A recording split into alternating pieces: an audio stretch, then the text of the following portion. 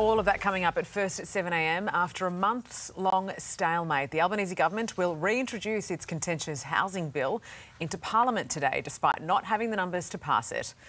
Nine Federal Politics reporter Eliza Edwards is live in Canberra. Eliza, good morning. Could this be used as an early election trigger as they've threatened? Yeah, Sarah, a bit too early to say, but the Prime Minister has warned if the $10 billion housing bill fails to pass again, like it did in June, it could become a trigger for a double dissolution election. Not that he'd necessarily want to pull that trigger. Labor and the Greens will try to thrash out a deal in the coming weeks, the bill being reintroduced today, but we're not expecting a vote until October. The Prime Minister has become increasingly frustrated with the delays, accusing the Greens of blocking the building of new homes for the vulnerable. The Minor Party in return turn argues the government isn't serious about tackling the scale of Australia's housing crisis. Thanks, Eliza. Breaking now, former President Donald Trump says he's expecting to imminently be criminally charged over attempts to interfere with the 2020 US presidential election. Lauren Tomasi is following developments. Lauren, good morning to you. This is all happening right now. What more can you tell us?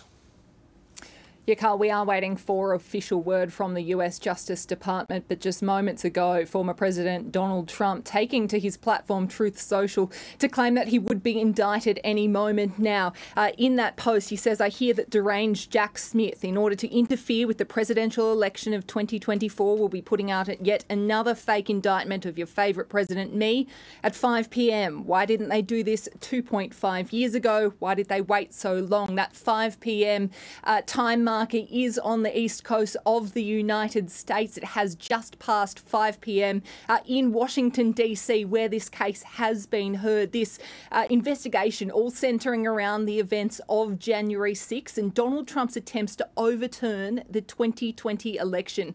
We have been widely expecting an indictment uh, for a number of days now. It was a couple of weeks ago that Donald Trump revealed he'd received a target letter uh, in this case. That came from special counsel counsel Jack Smith, uh, who has spent many months investigating the events of January 6. Uh, there have been hundreds of high profile witnesses in this case, and today the grand jury in Washington, D.C. has spent the day meeting. Look, the jurors have left a number of hours ago, but one key person remained, and that is the foreperson of that jury. That was a significant moment because the foreperson is required to formally lodge an indictment. Look, the events of January 6, 2021 have been been so widely investigated. Uh, there was a committee established into this. Donald Trump was impeached over those events, but we now are expecting that formal indictment, the third indictment of Donald Trump. We are now waiting for official word from the US Justice Department. Carl. Lauren, thank you.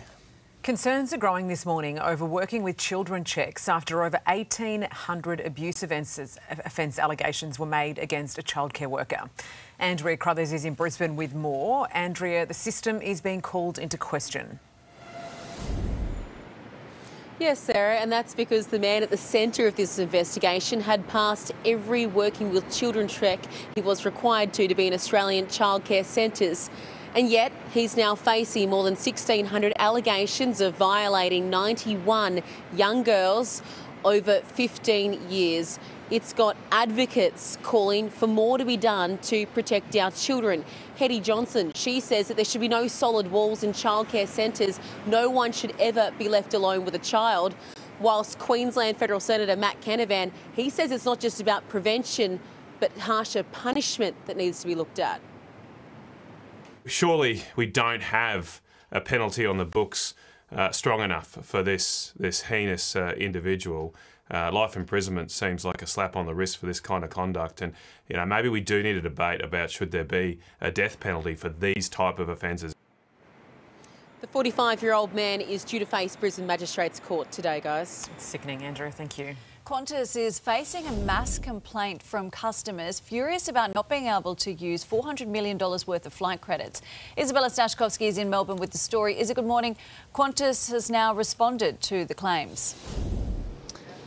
It certainly has, Brooke. Good morning again to you. These are some really serious claims. They've been published in articles this morning in the Australian Financial Review and in the Courier Mail. The AFR is suggesting that there is a draft document showing that that number of complaints has seriously spiked since pre-COVID, despite the number of customers going down. People really frustrated with flight cancellation services and being unable to use those flight credits that will expire at the end of the year. The comments in the Courier Mail are around sexism, meanwhile, suggesting there is an online forum run by a captain where current and former employees are essentially slamming women, their female colleagues, as well as the new CEO. We have just received this response from Qantas, firstly, regarding those comments in the Courier Mail. These comments are completely unacceptable, they're offensive, don't reflect our values, and have no place here or in any other workplace. Also, adding that the airline would only want to put on more female pilots and also staff. In regards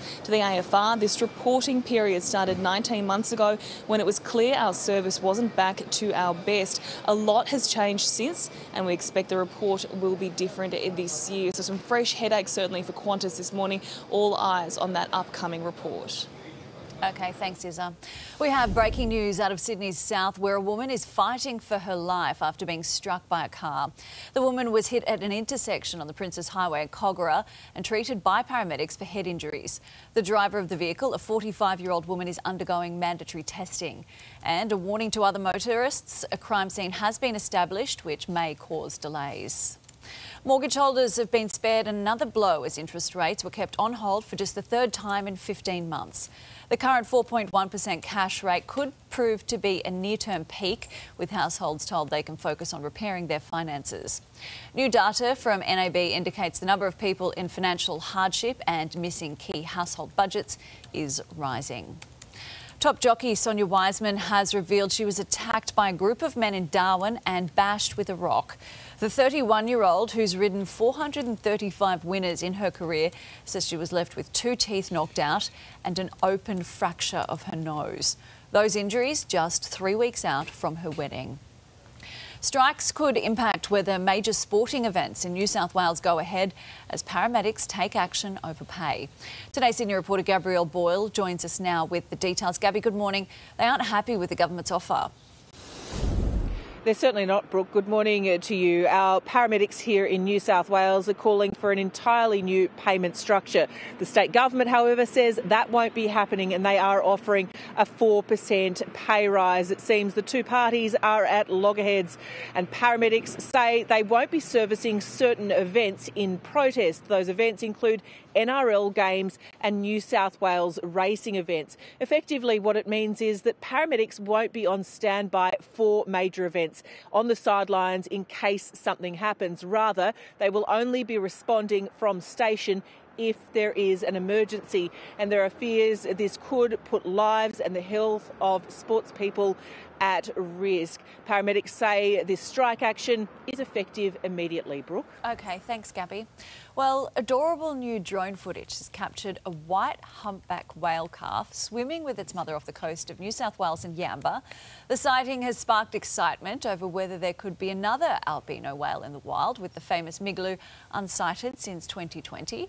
The calf is the second ever albino whale seen along the Australian coast. So he's been missing since 2020, but it seems like he's been busy. Mm. Yeah, Migaloo. Mm. just been busy Out and he's tired. Yeah, just out there doing resting. his thing. Called Sport and Storm fullback Ryan Papenhuyzen will play his first game in 384 days this weekend after shattering his knee in 10 places. Yeah, it wasn't good. Uh, in round 18 last season. That was his kneecap. It was bad. The 25 year old will line up for the Sunshine Coast Falcons in the Queensland Cup on Saturday in a huge step towards his long awaited NRL return. We want to see him back. Organisers expect the usual crowd of 1,500 to double and potentially triple to see Pappy play again. West Coast captain uh, Shannon Hurn is set to hang up his boots, ending his incredible career after 18 seasons. The Eagles defender will have an opportunity to farewell fans in their last two home games against Fremantle and Adelaide. Hawthorn's Max Lynch, meanwhile, has been forced into early retirement after an independent medical panel recommended he should stop playing contact sport. The 24 year old hasn't played since May, and that's after suffering his ninth career concussion in a game against Adelaide. Gee, that'd be hard, wouldn't it? Which makes it all the more frustrating, all the more ridiculous and almost criminal that Aliir Aliir is allowed back on the ground after, Mm. After being concussion. clearly concussed Yeah. without a concussion test. Yeah, it's so Port Adelaide, they've crazy. got, they're going to issue a please explain to the AFL today at the latest, so we'll see what happens on that front. It is So unbelievable. should. Even in that vision, you can see as soon as he, He gets was out. hit, he was out. Yeah, he's knocked Lachie out. Jones was also Plain knocked out. He came off the ground. They'll both miss this weekend's game against Geelong. Not sure how the doctor keeps the job. We'll see.